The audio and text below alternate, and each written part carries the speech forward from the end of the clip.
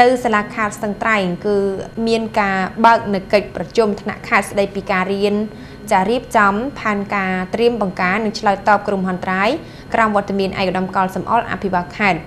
លោកដួងពៅនានាយករដ្ឋបាលសាលាខេត្តនិងជាលេខាធិការអចិន្ត្រៃយ៍នៃគណៈកម្មាធិការគ្រប់គ្រងគ្រោះមហន្តរាយខេត្តបានមានប្រសាសន៍ថាកិច្ចប្រជុំនេះធ្វើឡើងដើម្បីឲ្យស្ថាប័នពាក់ព័ន្ធទាំងអស់បានត្រៀមលក្ខណៈសម្បត្តិទទួលយកនៅការណែនាំស្ដីពីការបំពេញតារាងទិន្នន័យប្រភេទឬក៏មុខសញ្ញាគ្រោះមហន្តរាយ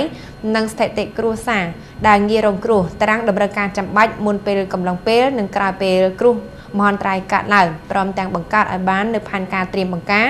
និងឆ្លើយតបគ្រោះមហន្តរាយខេត្តសម្រាប់ឆ្នាំ2013-2014ឯដំកលសំអល់គឺបានបញ្ជាក់ថារាល់ពេលរដូវនេះជារដូវវស្សាមានភ្លៀងធ្លាក់ស្ទើរតែរៀងរាល់ថ្ងៃហើយខេត្តស្ទឹងត្រែងមានទន្លេចំនួន4ហូរកាត់ថែមទាំងស្ថិតនៅតាមដងទន្លេមេគង្គផ្នែកខាងលើគេនៃប្រទេសទៀតជាហេតុនាំឲ្យខេត្តនេះឲ្យងាយរងគ្រោះដោយទឹកចំនួនមុនគេដូចនេះយើងត្រូវតែមានលក្ខណៈត្រៀមបង្ការនិងឆ្លើយតបគ្រោះមហន្តរាយឲ្យបានទាន់ពេលវេលានិងមានប្រសិទ្ធភាពខ្ពស់ ឯកឧត្តមបានបញ្ជាក់បន្ថែមថានៅក្នុងខេត្តស្ទឹងត្រែងយើងមានធារាជលសាស្ត្រនៅគ្រប់ទន្លេទាំង4នឹង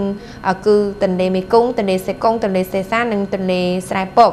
ដែលបានបង្ហាញថាមកដល់នឹងថ្ងៃទី2ខែសីហាឆ្នាំ2013នេះទឹកទន្លេទាំង4មានការហក់ឡើងគួរឲ្យកត់សម្គាល់ទឹកទន្លេមេគង្គគឺមានកម្ពស់ 9ម៉ែត្រ24បើប្រៀបធៀបទៅនឹងឆ្នាំ2011ជាឆ្នាំមានទឹកធំជាមធ្យមដែរនោះក្នុងពេលវេលាដូចគ្នានេះទឹកមានកម្ពស់ត្រឹមតែ8ម៉ែត្រ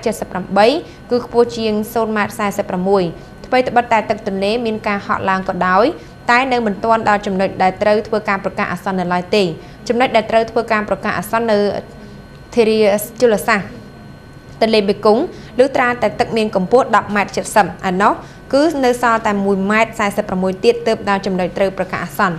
ឯកឧត្តមអភិបាលខេត្តបានផ្ដាំផ្ញើដល់គ្រប់ស្ថាប័ននិងអាជ្ញាធរមូលដ្ឋានទាំងអស់ត្រូវធ្វើការផ្សព្វផ្សាយឲ្យបានទូលំទូលាយដល់ប្រជាពលរដ្ឋដែលរស់នៅតាមដងទន្លេទាំង4ឲ្យមានការត្រៀមលក្ខណៈជាមុនដើម្បីបញ្ជា ឲ្យបាននៅការរងគ្រោះដល់អាយុជីវិតមនុស្សសត្វនិងទ្រព្យសម្បត្តិដែលបង្កឡើងដោយគ្រោះធម្មជាតិណាមួយនោះព្រមទាំងរៀបចំកម្លាំងចុះជួយដកស្ទូងស្រូវជូនដល់ប្រជាពលរដ្ឋនិងត្រូវជំរុញប្រជាពលរដ្ឋឲ្យបង្កបង្កាន់ផលស្រូវឲ្យបានទាន់រដូវផងដែរ